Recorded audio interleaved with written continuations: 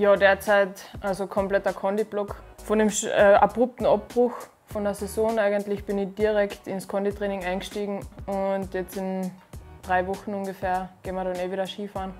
Von dem her läuft alles nach Plan und ich freue mich schon.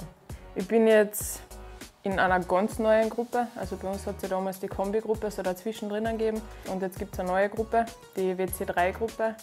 Da sind wir zu viert, also vier Mädels, was eigentlich in alle Bereiche sehr ähm, gut drauf sind. Und ich glaube, wir können uns gegenseitig richtig gut pushen.